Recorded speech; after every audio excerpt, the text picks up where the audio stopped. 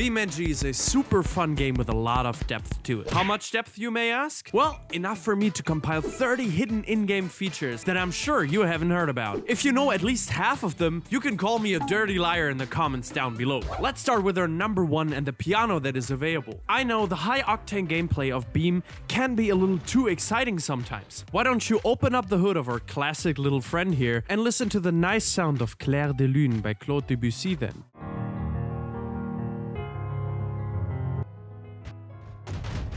Do you recognize this skin? Maybe if I add a little Scooby snack to it. Does it get more clear? Nice little addition to the skin roster by the devs here and definitely fitting for our next secret. There is a spooky house on the East Coast USA map, which if you look close enough, has flickering light coming out of it. Oof, I will need some more courage to solve that mystery. The Utah mines have a whole underground tunnel system that doesn't really appear at first sight, but if you enter, there are kilometers of underground intertwined shafts. But you should still be on the lookout. We all know security is BeamNG's top priority, so it's only reasonable that there's a warning sign inside of the pigeon. But that doesn't read right, or is it just me? No matter what, you should still follow it. Oh no. Are you ever strapped for danger when playing BeamNG? Try pressing Ctrl and H and see what happens, but be prepared to go back to your home base whenever you do that. If you ever feel bored on your way there, why don't you add AI traffic by using the combination Shift, Control, and T. Much easier than going to the menu and doing that. A storm drain system is also drivable in the construction site at West Coast USA. Usually, this is just a one-way ride, but some cars take it to another level. The ESBR 800 is the only vehicle to my knowledge which takes the climb easily and makes it look so darn easy too.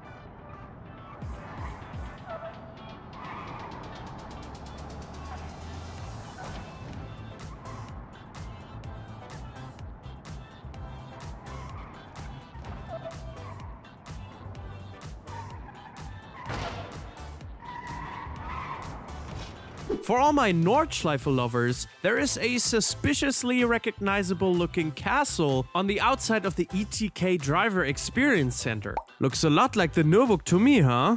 BeamNG really wants you to know that you are playing their game right now. Should you ever forget at any point, then their logo is even stamped on the engine block of the Scintilla. If we inspect the insides a little further, we will see more anomalies. For example, this bag, which reads handling, in the cargo of the Wigeon. And if we have a look at the NOS bottle, it does seem odd as well. I don't recall the company LOL making them, to be honest. Do you guys know what this could mean? I rarely listen to my car radio anymore, but some of of these all-time classics that seem to be bumping on repeat in these rides really would make me reconsider. And did you ever wonder why you can't find the hood release of the Scintilla? Well, have you ever had a look in the door sills? And while you're at it, take a look at the car clock. Seems to be suspiciously correct with newer vehicles. Hmm, are they spying on us? Or is it all an inside job by Foreign Life? Take this alien-like monolith on East Coast USA, for example. There seems to be a government cover-up going on, because this is the last of its kind. Others have been removed from different maps. What are they trying to hide? Maybe whatever is living here on Jungle Rock Island has something to do with it.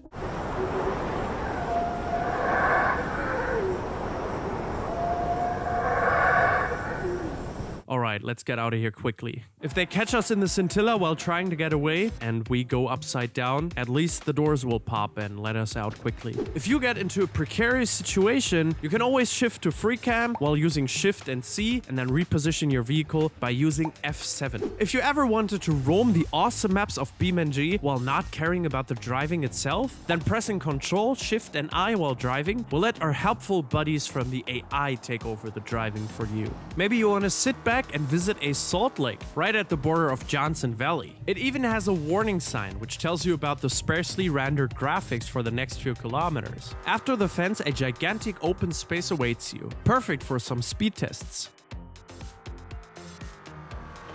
If you want to enjoy your gameplay without any overlays, to make some stunning recordings for example, Alt plus U manages that for you. We've all been there. I am under the water.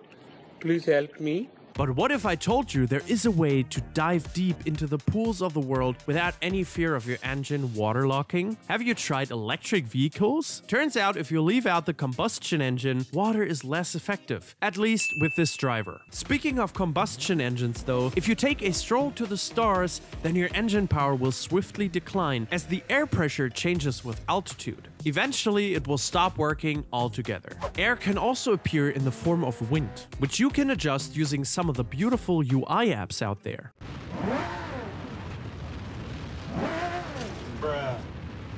Try to click this grayed out panel in the main menu six times. Would be a shame if you couldn't play the work in progress career mode. We mentioned that in our latest BeamNG video as well, so maybe take a yanner over there if you're done here. This French rally team really got the most French driver ever and I would definitely buy a burger of this shop after that taxi advert. Seems 100% legit and super professional. And lastly, there are fenders for the 200BX, which come up by using the very funny search term Turbo Rabbit. It's a reference to a Japanese body kit manufacturer.